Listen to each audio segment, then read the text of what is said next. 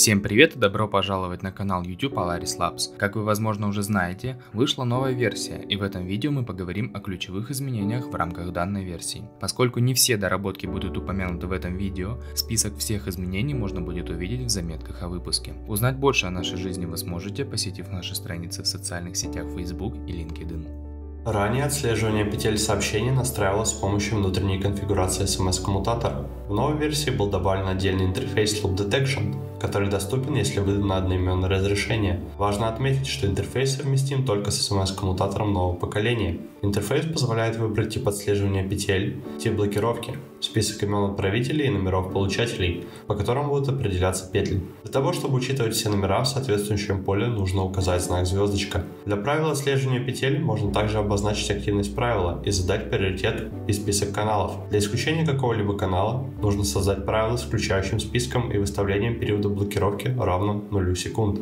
Период блокировки доступен при выборе типа блокировки – Accumulative или Periodic. Первый режим позволяет включить ограничения после первого сообщения.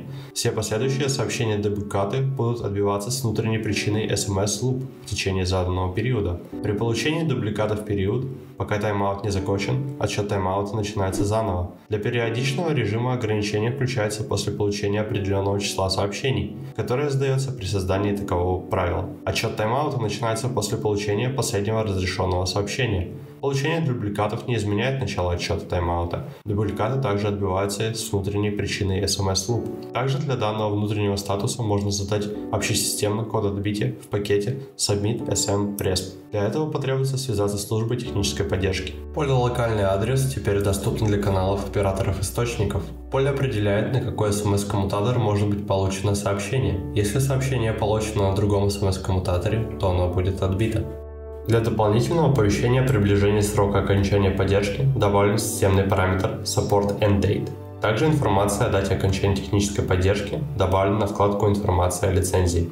В систему добавлена возможность блокирования сообщений, полученных с уже истекшим временем жизни сообщения Validity Period. Для этого были добавлены системные параметр Block Expired Messages и аналогичный параметр в канале с доступными значениями по умолчанию «Да», «Нет», Вариант по умолчанию означает использование значения системного параметра. Также параметр канала имеет приоритет над системным параметром. Например, если параметр в канале выставлен как «нет», а общесистемно задано блокировать просроченные сообщения, то просроченное сообщение с данного канала не будет заблокировано. Проверка, истекло ли время жизни сообщения, проводится после применения трансляции для Entity Validity Period Проверка происходит после применения трансляций при условии, что включен системный параметр или выставлена соответствующая настройка в канале оператора. Если ни один маршрут не признан подходящим из-за просроченного времени жизни сообщения, EDR-запись будет иметь статус Validity Period is Expired Ранее для транзитных HTTP операторов не проводилась проверка на совместимость исходной кодировки с разрешенной кодировкой транзитного оператора. Сейчас данное поведение можно изменить с помощью нового системного параметра фильтрации HTTP операторов на основе списка кодировок, где значение 0 будет означать выключено, а 1 включено. Для расширенного режима добавлена возможность при симуляции выставить параметр Ignore HLR Cache. При включенном флаге, даже если номер был в кэше HLR, то есть обращение к HLR источнику для номера проводилось ранее, будет проведено обращение к HLR-источнику. Это позволит увидеть более корректную картину маршрутизации с учетом HLR-тарифа, который при обычной маршрутизации вычитается из тарифа оператора.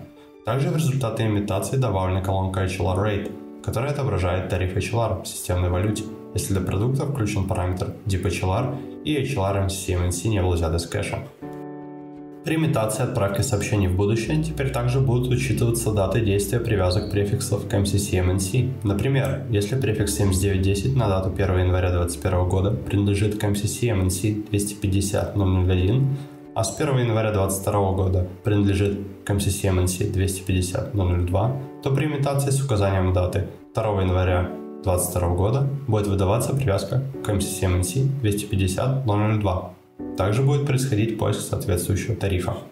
Добавлен новый внутренний ответ от модуля маршрутизации, если все маршруты оказались заблокированы блокирующими правилами маршрутизации 2.4.0.3.0. Данный код можно найти при экспорте EDR из интерфейса в колонке Status Code или же в отчете EDR Export SMS. Колонка SMS Status Code. Также для передачи кода оператору-источнику можно настроить трансляцию кода. Интерфейс Translation Rules error and status codes типом routing response code to EDR message status text для кода 24030 в требуемый код. Для входящих HTTP запросов добавлена поддержка флага Flash. Данное значение может быть передано для отправки МТ-сообщения. Флаг может быть изменен с помощью правил трансляции. Разрешенные значения для флага 0 – обычное сообщение и 1 – флеш-сообщение. Сообщение, которое не хранится в памяти телефона, отображается на экране. Важно отметить, что данный флаг просто записывается в EDR, более технические детали, но не меняет кодировку сообщения. Ранее было невозможно сопоставить MO-сообщение с MT-сообщением и отобразить его в модуле Campaign Portal, поскольку сопоставление сообщений для отображения ответа пользователя в модуле Campaign Portal производится по следующим условиям, в то время как MO-ответы от транзитного IM оператора Viber имеют фиксированное имя отправителя – Viber. Адрес отправителя MT-сообщения совпадает с адресом назначения MO-сообщения. Адрес назначения MT-сообщения совпадает с адресом отправителя MO-сообщения. Ответ МО-сообщения получен в пределах значения, выставленного в системном параметре максимальный период ожидания для отслеживания МО-ответов на МТ-сообщения. В текущей версии сопоставление реализовано. В аналитику добавлена возможность просмотра статистики по году, годовые аналитические кубы. Добавлены соответствующие системные параметры Year Cube Partition Count, число лет для хранения годовых кубов, по умолчанию 10, Stats Calculation Delay, по умолчанию 1300 для SMS и 144 для голоса, Stats Calculation Threshold. Для голоса по умолчанию 10 тысяч, для SMS по умолчанию 48 тысяч. Для SMS-коммутатора нового поколения доработана отправка сегментированных сообщений. Ранее такие сообщения могли уходить через разные SMPP-соединения, сейчас они будут проходить через одно. Для SMS правил маршрутизации добавлена метрика Data Coding, с помощью которой можно маршрутизировать сообщения, исходя из кодировки оператора источника. Например, если требуется отправлять сообщение на транзитного оператора, если входящая кодировка равна нулю, то условие должно выглядеть следующим образом. Data Coding равно нулю. Метрику можно использовать как на уровне правила, так и на уровне выбора. Добавлены новые разрезы. Имя отправителя, оператор-источник и имя отправителя, транзитный оператор, позволяющие просмотр аналитики по именам отправителя, а также добавление данной информации в отчеты, построенные по аналитическим данным. Для включения разрезов следует обратиться в службу техподдержки, предоставив специальный код. Также, если номер цифровой и содержит 9 и более цифр, то такие номера будут объединены под значением нумерик. Ранее для входящих HTTP сообщений была добавлена поддержка получения ID сообщения от оператора источника, однако возможность присутствовала только для коротких сообщений. Теперь также поддерживаются длинные сообщения. Максимальная длина параметра 60 байт. При наличии нескольких MCC-MNC в рамках одной стороны и сети и наличии у вендора тарифов на эти коды, интерфейс Test System отображал лишь один из MCC-MNC. Теперь отображаются все коды из тарифов без ограничений по количеству в рамках сети. При импорте цены, где запятая является десятичным разделителем со значением меньше 1 десятитысячной, цена отображалась некорректно. Ситуация исправлена. Для вкладки «Статистика» модуля Campaign Portal добавлен фильтр Show Temporary EDRs, с помощью которого можно скрыть или отобразить EDR с промежуточным статусом. Ранее в систему была добавлена возможность трансляции текста для сегментированных сообщений, однако внутренняя настройка позволяла указать только конкретный список каналов транзитных операторов. С новой версией можно будет указать все каналы. Ранее при создании объема зависимой сделки в новом модуле проверялось наличие тарифа в продукте. Если тариф на MCC и MNC сделки уже присутствовал в продукте, то выдавалась ошибка. Сейчас будет выдано предупреждение с предложением закрытия существующего тарифа и открытия нового с даты начала действия сделки. Ранее SMS-коммутатор записывал исходную кодировку источника оператора в поле с кодировкой транзитного оператора. Ситуация исправлена для SMPP транзитных операторов. Для MO маршрутизации добавлена проверка, что канал транзитного оператора и канал оператора источника не принадлежит одному и тому же партнеру. Иначе такое сообщение не будет передано дальше и будет записано EDR со статусом Route Failed.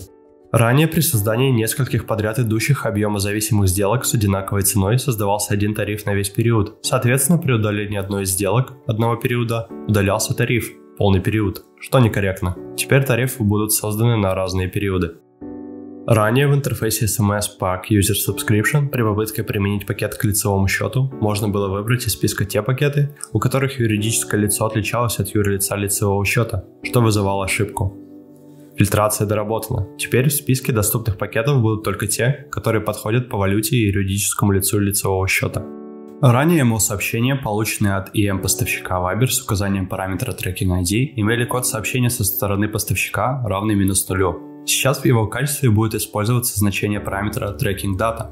из ответа Viber с добавлением суффикса минус 0.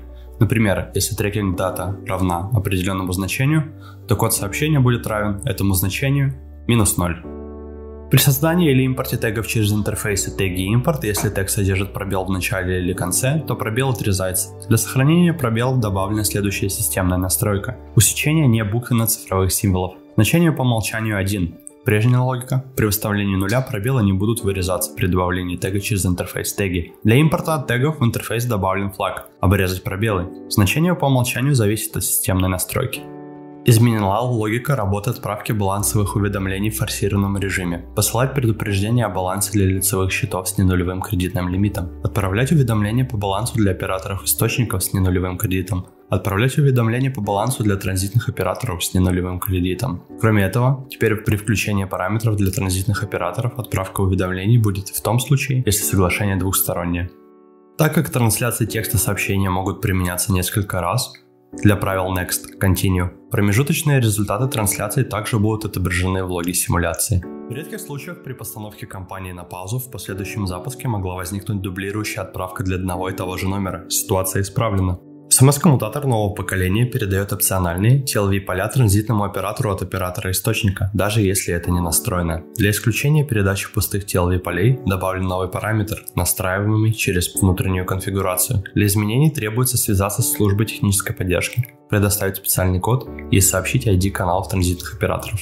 В редких случаях, когда в одну секунду был получен запрос на обращение к HLR-сервису на один и тот же номер от разных продуктов, операторов, источников, имеющих разные правила обращения к HLR, через разные HLR-сервисы, мог быть использован некорректный HLR-сервис. Ситуация исправлена. Метод по работе с шаблонами был скрыт из REST API. Соответствующие методы добавлены в E-API. Update preset, delete preset, get preset list. При рестарте SMS-коммутатора модуль будет отправлять unbind операторам-источникам. Политики ограничения доступа VPD добавлены для нового интерфейса объема зависимых сделок. Введен запрет редактирования биллинговых схем, если схема принадлежит назначенному номеру. Для интерфейса импорта тарифов добавлена фильтрация по направлению партнера. Для колонки Subscribers интерфейса SMS Pack добавлена гиперссылка, по которой можно перейти в интерфейс SMS Pack User Subscription – также при переходе будет дополнительно применена фильтрация и будут отображены только подписки для данного пакета. REST API, методы для работы с правилами маршрутизации, SMS Rule, Voice Rule были скрыты, так как предназначены для внутреннего использования. Аналогичные методы были вынесены в EAPI. Также методы для работы с SMS правилами теперь поддерживают параметры Rule Dest Tag List Scope, тип списка тегов получателя, и Rule Dest Tag List, список тегов получателя.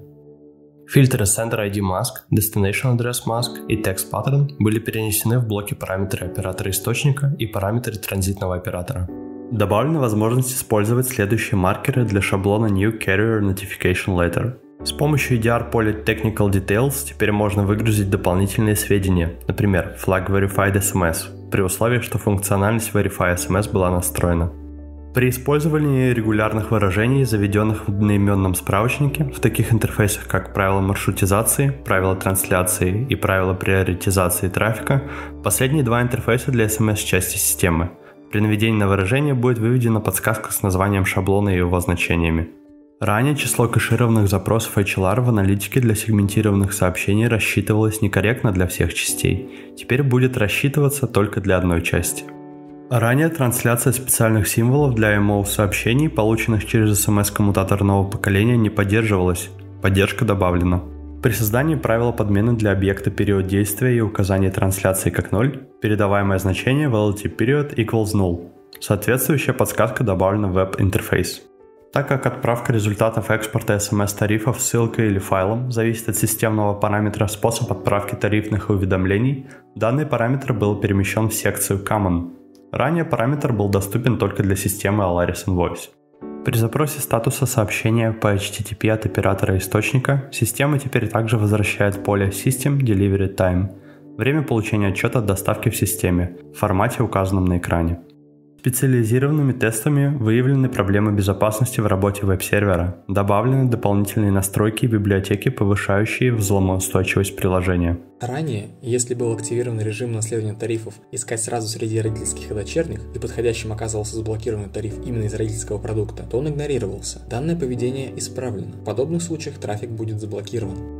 Ранее метрика маршрутизации rule at CNT не учитывала буферный EDR и ее значение увеличилось при отправке сообщения на транзитного оператора, что могло привести к некорректным расчетам метрики. Сейчас же счетчик будет инкрементироваться при отправке сообщения в буфер транзитного оператора, и его значение не будет увеличиваться при выходе из буфера и последующей отправке. Ранее, если на отправку ему сообщения оператор-источник не отвечал пакетом DLV RSP, то EDR SMS-коммутатором не записывалась. Данная ситуация была исправлена. В случаях, когда не удавалось отправить уведомление об импорте файла согласно правилам обработки почты, Email Processing Rules, например, недоступность почтового сервера, обработанное письмо не добавлялось на вкладку Files. Ситуация исправлена.